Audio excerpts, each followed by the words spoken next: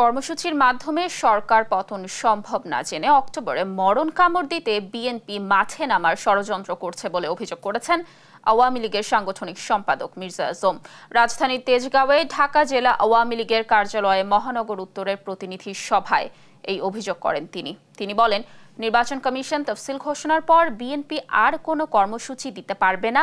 তা জেনেই পুরনো কৌশল বেছে নিচ্ছে।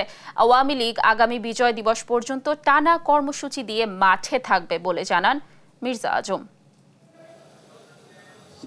নাশকতা করে দেশের মধ্যে একটা অরাজক পরিস্থিতির সৃষ্টি করে সেই আন্তর্জাতিক শক্তি দ্বারা প্রভাবিত হয়ে এই বাংলাদেশে তখন যদি শেখ হাসিনাকে পরাজিত করতে পারে, এই চরি, এই পরিকল্পনা নিয়ে কিন্তু তারা আগাচ্ছে এবং তাদের শেষ সময় অক্টোবর মাস।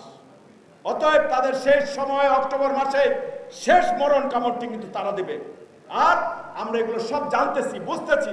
বোঝার পরেও আমরা যদি নিজেরা দায়িত্বশীল না হই, তাহলে কিন্তু আমাদের, তারা যে পরিকল্পনা নিয়েছে, সেটাই কিন্তু সফল হবে।